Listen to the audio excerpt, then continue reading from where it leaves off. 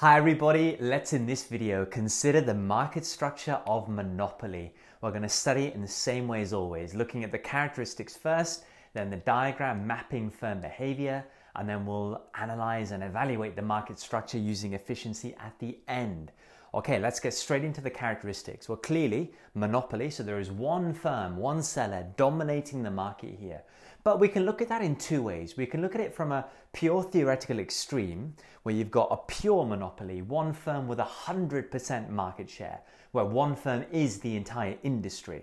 That's a theoretical extreme, not very realistic at all. Or we can look at it in a more realistic sense of monopoly power, where a firm has got the power, has got the potential to act like a monopoly. That's known as monopoly power, and the legal definition of that is when one firm on their own has got more than 25% control of the market. So one firm has got at least 25% market share. They're considered to have monopoly power. This is also known as a legal monopoly. There are differentiated products here, unique products, which means that naturally the monopoly is a price maker. There are high barriers to entry and exit. That's fundamental. And that means that supernormal profits can persist over time for this firm. There is imperfect information of market conditions. That's another reason that keeps firms out from this market. And we assume that the firm is a profit maximizer, producing where MR is equal to MC. So, understanding all of these key characteristics of monopoly, let's understand how monopolists behave going to our diagram.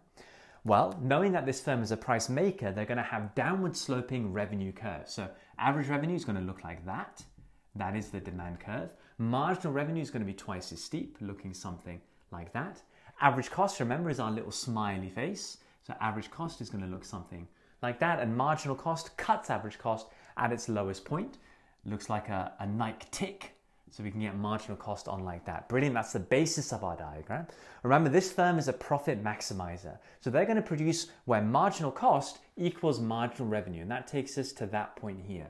So let's call that point Q1. Where do we read the price from? We read the price from the AR curve. The AR curve is the price. We have to go up to AR and that will give us a price of P1. The diagram isn't finished here. What we can work out is at quantity Q1, the level of profit the monopolist is making. To do that, we have to compare average revenue and average cost. Well, at quantity Q1, it's clear that average revenue is way up here, average cost is way down there. The vertical difference between the two dots is the unit level of supernormal profit. We know it's supernormal profit because average revenue is greater than average cost. That vertical distance is the supernormal profit per unit multiplied by Q1 and we get the total profit. So we can take this point across, let's call that point C1. That box is the area of total supernormal profit made by this monopolist. We need to label it as such. So there's our super normal profit, the wonderful, juicy, super normal profits that this monopoly is making. Now the diagram is complete. Fantastic. Now we need to look at analyzing and evaluating this market structure by efficiency analysis. So let's have a look here. Is this monopolist allocatively efficient? Well, we have to look at quantity Q1, so the quantity they're producing, are they being allocatively efficient? Well, remember, allocative efficiency occurs where price is equal to marginal cost. Well, clearly, where price equals marginal cost is over there. That's where competitive firms will be pricing and producing. We can clearly see here that at quantity Q1, our monopolist is charging a price of P1 much higher than marginal cost at the quantity of Q1. So a monopoly is definitely not allocatively efficient. They're charging a price greater than marginal cost, exploiting consumers in that sense. So your analysis has got to be yeah, P is higher than MC. Monopolies are charging a price higher than what it costs, and in doing so, they're exploiting consumers with high prices, low consumer surplus, but they're also restricting output in this market. Quantity should be higher if we look at where allocative efficiency is in the market.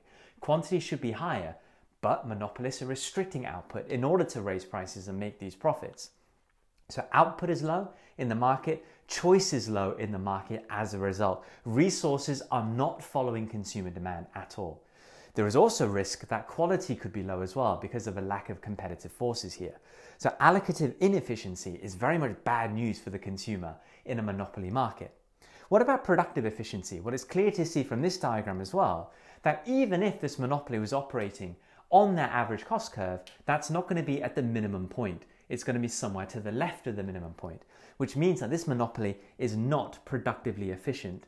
They are voluntarily foregoing economies of scale by not producing at the minimum point on their average cost curve. That's what this diagram says. That's just the way I've drawn this diagram. The other way of looking at productive inefficiency is if a monopolist gets too large and there are diseconomies of scale, if they end up producing on the rising part of their average cost curve here. But if we go the other way, in which case they are voluntarily foregoing economies of scale, that's another reason why prices tend to be higher in monopoly markets, inefficiency there. We can also assume X inefficiency. We can't see that from the diagram, but we can assume it with basic logic. Remember, X inefficiency occurs when monopolists are producing beyond their average cost curve, above their AC curve, allowing for waste to creep in here, excess costs. Why would a monopolist allow for this? Well, one reason, they become complacent with a lack of a competitive drive. That's one reason why they can get away with it and thus charge higher prices for it. But the second reason is simply because it's very difficult to reduce waste, to cut down your costs to the absolute minimum. It's a difficult process. And if a firm doesn't need to do so, then they're not necessarily going to do so. So we can say X efficiency, no as well, which means a monopolist is statically inefficient the three static uh, efficiencies are not being met. They are statically inefficient. However, there is potential for dynamic efficiency because there are long run super normal profits being made. No firms can come in because of high barriers to entry, and also there is imperfect information. So that keeps other firms out of the market, which allows these super normal profits to persist in the long term. And because of that, this monopolist could reinvest those profits back into the company in the form of new technology, in the form of innovative new products, um, in the form of research and development, in the form of new capital, upgraded capital, etc.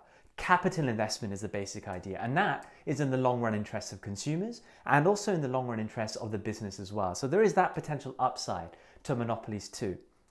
This is a very simple story to conclude we can actually go into much more detail with monopolies, and a video later in this playlist really does go into that detail, looking at the pros and cons of monopoly in far more elaborated detail than this. So make sure you watch that video to get a real good detailed understanding of the pros and cons of monopoly. But that's the basic idea of a monopoly market structure. Thank you very much for watching, guys. I'll see you all in the next video.